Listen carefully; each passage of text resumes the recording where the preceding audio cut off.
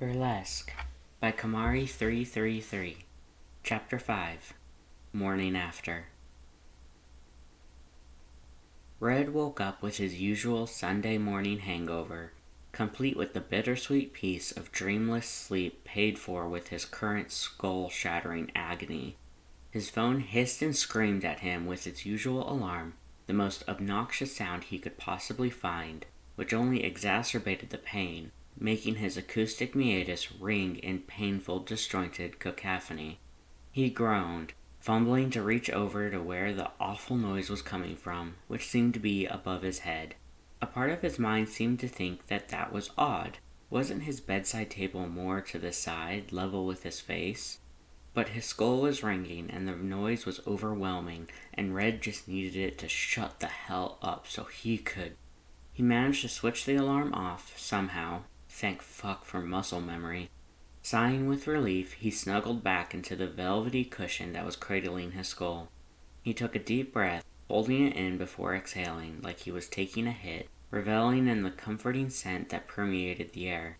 The whole ambience resulted in an atmosphere of serene safety, something that made him want to relax, to let his guard down, to drift back to sleep. The temptation was nearly too much. He was so comfortable.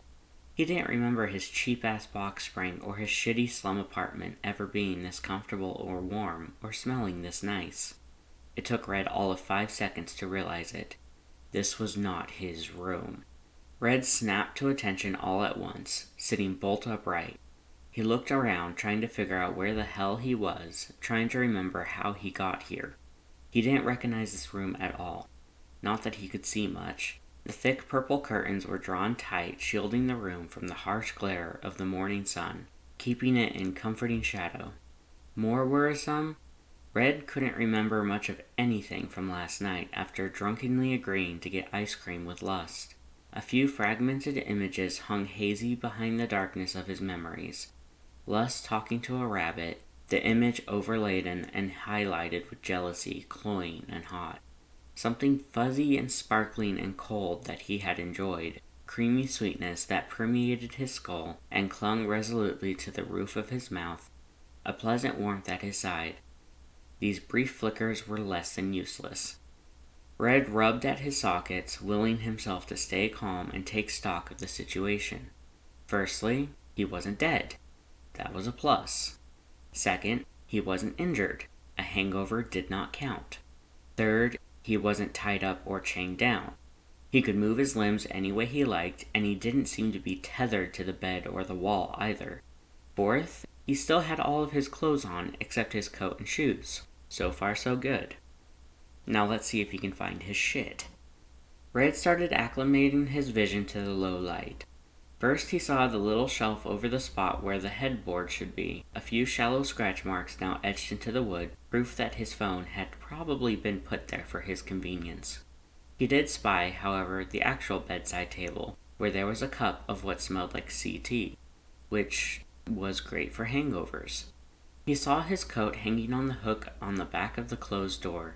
He used a bit of blue magic to bring it over, ignoring how the effort made his skull ache and strain as though being split apart, and checked the pockets for all his other things.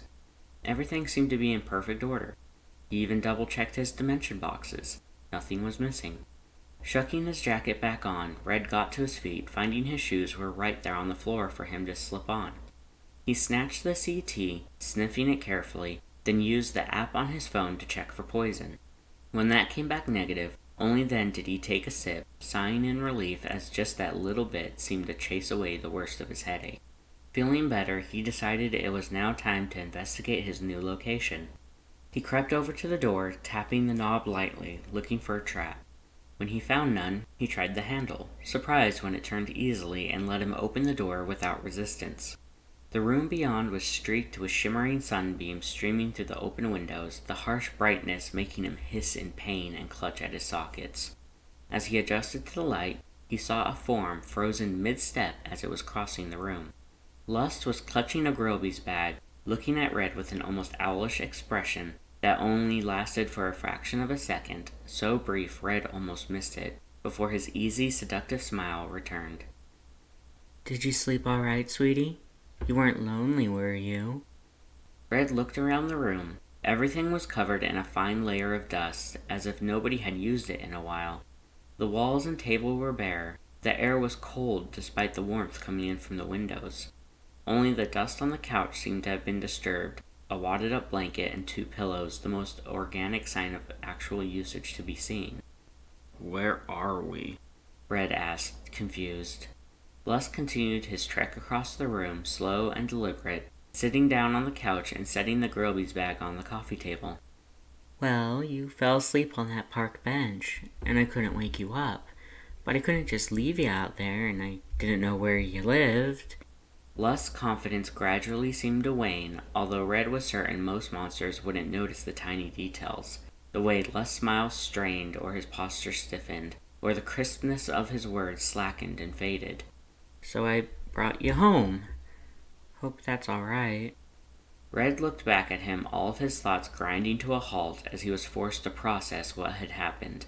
The hilarity of it all bubbled up, and Red started laughing. He noticed how all the tension in Lust's body eased, how he seemed to breathe easier. Red had to take a moment and catch his own breath, giddy nervousness shaking off of him to be replaced with unexpected solace. well, you didn't shank me, so I'd say that was alright. Shit. He wheezed, leaning against the doorframe. Lust smiled. If you're interested, I got breakfast. It's just a few burgers and some fries, but. Red looked at Lust, dumbfounded. He couldn't believe what he was hearing. Lust had seen Red in a legitimately vulnerable state, and instead of taking advantage of that, Lust had, relocated him somewhere safe, giving up his bed in the process, gone out of his way to make Red comfortable, and even left something to assist him with his inevitable hangover, something Red never even bothered to do for himself. Then, then, Lust offers to feed him? Red felt the way his magic burned over his maxilla and nasal ridge. Who in their right mind could say no to a proposal like this? From a guy so genuinely charming not to mention attractive, Lust would certainly be less than useless in a fight, but Red could handle that part. It was honestly flattering that Lust would think of him that way, that he would trust him despite everything Red clearly was. Maybe this was what he had been missing all this time? It certainly felt like it. Red couldn't stop the smirk that spread across his face as he crossed the room, settling next to Lust on the couch. He reached for the bag with deliberation, cutting the sealing wax that held the bag closed, the wax color indicating to him it was from the sparkly Grilby's that opened up three hours before dawn, just after nearly all the others seemed to close, and unfurled the top. He reached in, pulled out two of the burgers, and handed one to Lust.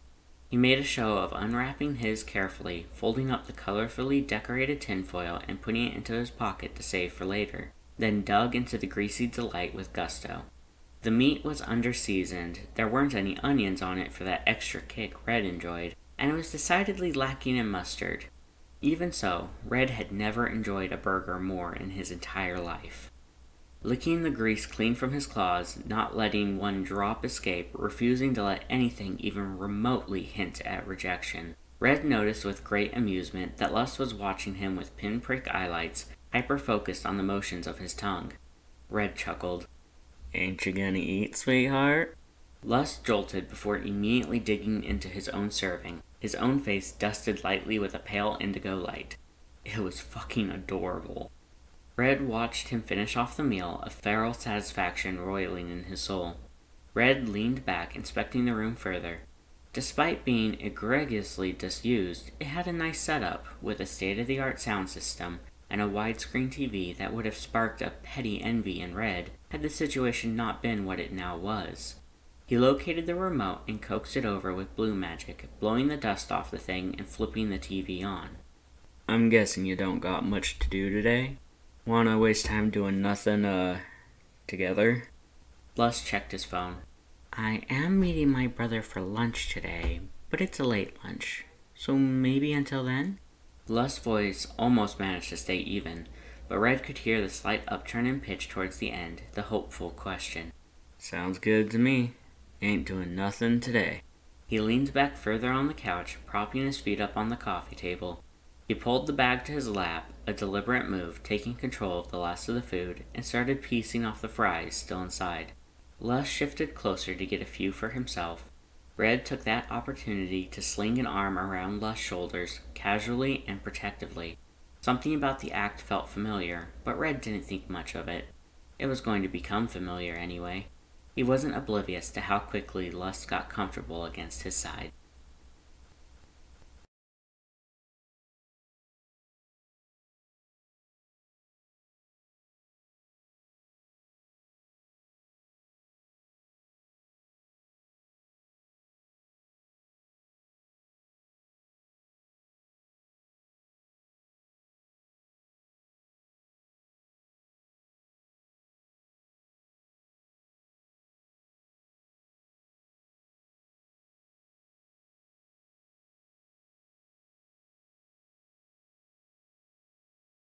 Bye.